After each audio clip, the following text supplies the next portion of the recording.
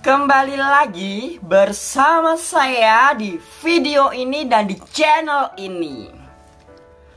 Di mana kita bahas lagi mengenai Ratu Adil.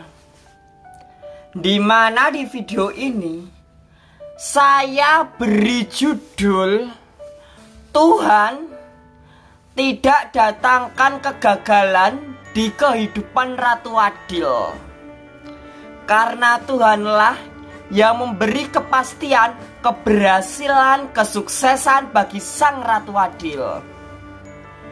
Di mana kegagalan tidak akan menimpa Ratu Adil.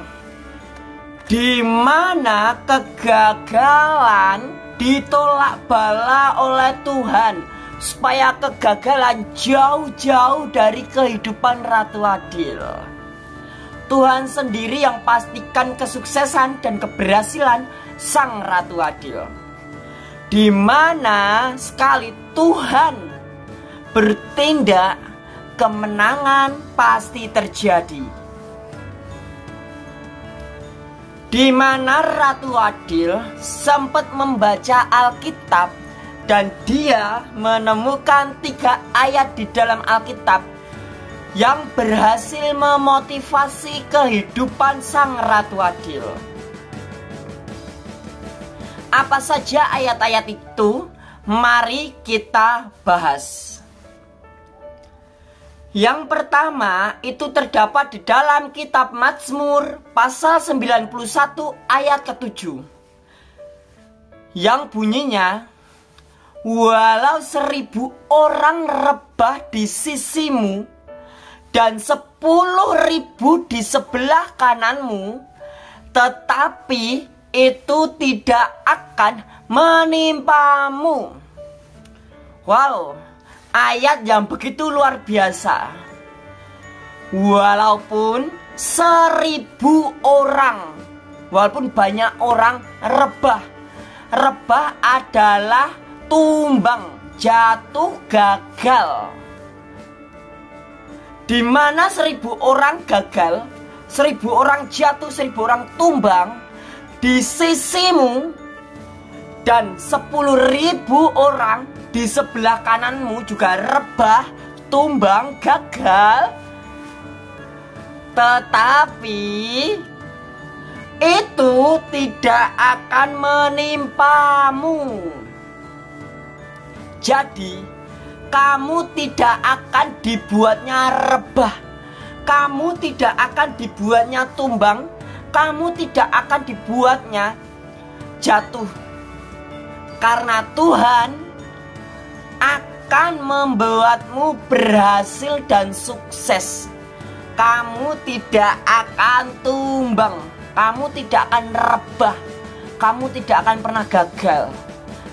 Karena Tuhan menyertaimu. Begitu pula sang Ratu Adil tak akan gagal karena Tuhan menyertai Ratu Adil.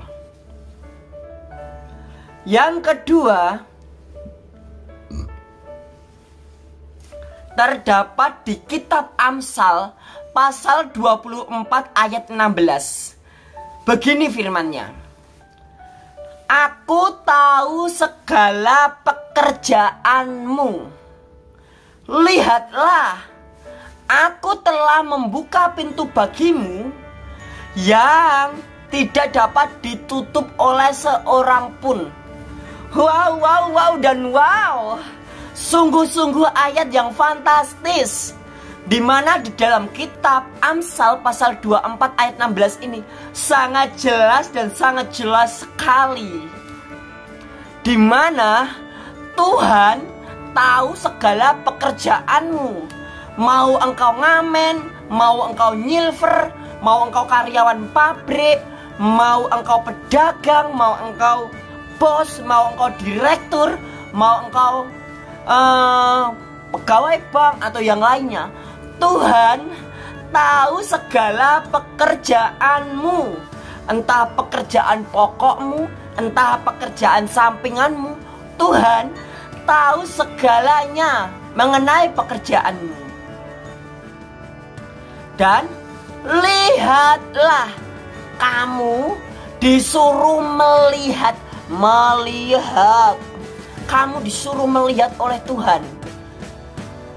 Aku, Tuhan, telah membuka pintu bagimu, telah membuka pintu bagimu. Tuhan sendiri berkata bahwasanya Dia telah membuka pintu bagimu. Pintu terbuka bagimu. Pintu apa? Pintu dalam segala aspek kehidupan. Pintu perekonomian, pintu pekerjaan, pintu kesuksesan, pintu keberhasilan, pintu sukacita, pintu kegembiraan, semuanya dibukakan kepadamu. Yang tidak dapat ditutup oleh seorang pun. Wow, sekali Tuhan yang membuka pintu, siapakah yang dapat menutupnya?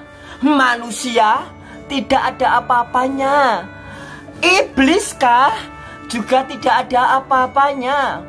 Bila mana Tuhan sudah berkenan membuka pintu di kehidupanmu, maka maka terobosan-terobosan dan terobosan kuasanya ditunjukkan kepadamu. Kuasa Tuhan, kuasa ilahi itu ajaib. Kuasa Tuhan bekerja sangat ajaib dan bekerja dengan sangat cepat. Maka dari itu, kamu disuruh melihat ketika Tuhan sudah berkenan ke dalam kehidupanmu dan Tuhan berkenan membuka pintu kehidupanmu, maka kesuksesan, keberhasilan, peningkatan perekonomian, peningkatan kehidupan, peningkatan fasilitas akan dicurahkan kepadamu. Bahkan tangan Tuhan akan mengangkat keadaanmu yang sekarang. Dan yang ketiga, terdapat di dalam Roma pasal 12 ayat 12 yang mengatakan bersukacitalah dalam pengharapan, sabarlah dalam kesesakan, dan bertekunlah dalam doa. Ini juga merupakan ayat yang luar biasa di mana kita harus selalu bersuka cita di dalam pengharapan kita dan kita harus bersabar atas segala kesesakan kita, penderitaan kita, perjuangan kita, kita harus bersabar.